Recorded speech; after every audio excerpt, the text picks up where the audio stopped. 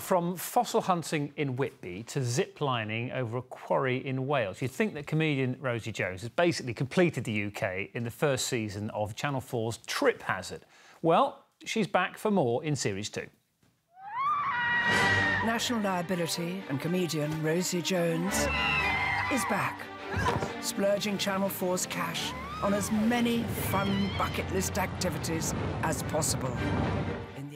It looks amazing. Uh, now, Rosie has cerebral palsy, and despite forging an incredible career working on some of the biggest TV shows out there, she still faces abuse and ableism on a daily basis. Earlier, we caught up with her in the studio to talk about her life and her wacky travels. So it's series two of Rosie Jones's Trip Hazard, and it is bonkers. I'm we, told. Yeah. We're in. We're in.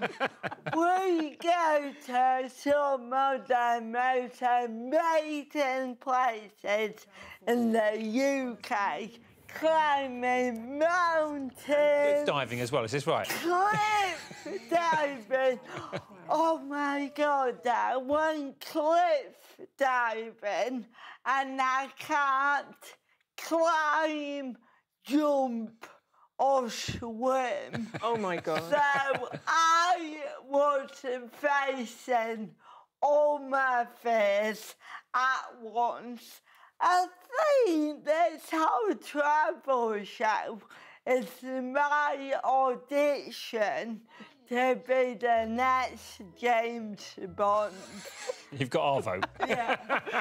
gonna, OK, so I was going to ask you what you were scared of most, but your attitude to describing what you went through. So if it was me, I'd be like, I had to fall out, I had to jump out of a plane, I had to uh, just jump off a cliff. But you're like, well, I, I did this, and this was brilliant. Yeah. Were you actually scared of any of these, gosh, of these activities? You what? Having cerebral palsy just makes me hit life head on and any activity and you thought, yeah, why not? I'll do that.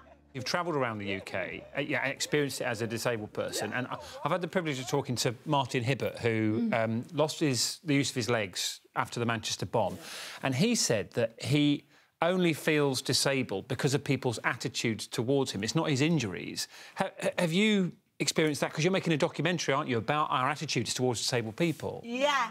So I love being disabled. I'm very, very proud of it. I am not vulnerable because of my disability. I am vulnerable because society makes me feel like that. So what kind of things can people do? Without also coming across condescending or just trying to take over, if you like. what's, what's a way to be an ally to help people living with disabilities? That's it. I always say, don't speak for us. Stand by our side.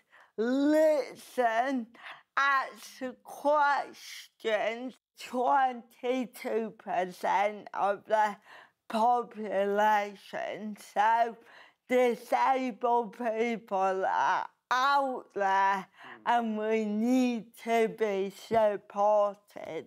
You know what? I am slightly annoyed that you're not on Strictly this year because I was convinced, Rosie, you were going to. I read, uh, maybe you started the rumour. I read that you were going to do it, and I know you want to do it. So, are we going to see you there at some stage? That's it. So, I'm a big Strictly fan. So I was Googling who was rumoured for this year, and the top person was me. and, and I got so excited. Um, but no, not this year. Next year. Next, next year. year.